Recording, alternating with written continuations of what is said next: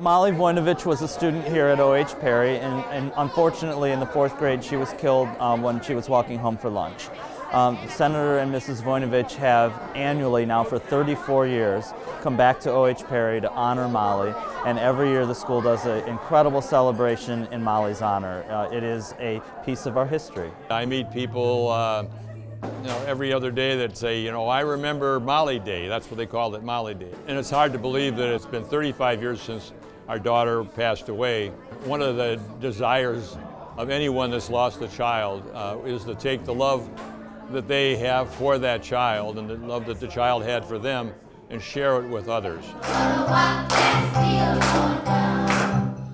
history matters and tradition matters, and our local history and tradition matter. And so that our young people know who Molly was, know that she loved purple, and we all wore purple today, uh, knew uh, that Molly's uh, mom and dad were here, and that Molly's mom and dad was our governor, and was our mayor, and was our senator. And, you know, that's how history becomes alive. This year's celebration of genre, uh, a student written and produced in uh, production, just incredible. I, every year I think they can't do better, and then they do.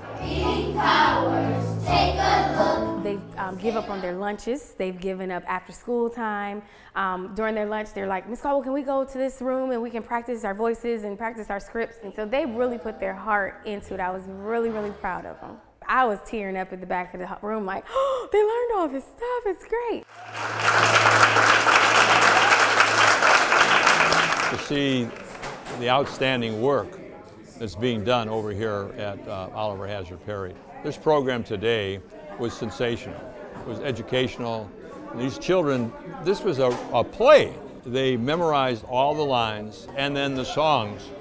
You know, it's, just, it's like Hollywood or something, you know. Take a look,